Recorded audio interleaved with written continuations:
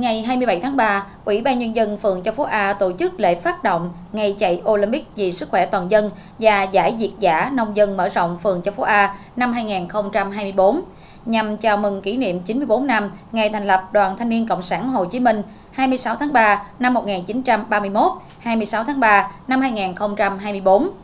kỷ niệm 78 năm Ngày Thể thao Việt Nam 27 tháng 3 1946, 27 tháng 3 2024 và kỷ niệm 45 năm thành lập phường Châu Phú A 25 tháng 4 1979, 25 tháng 4 2024.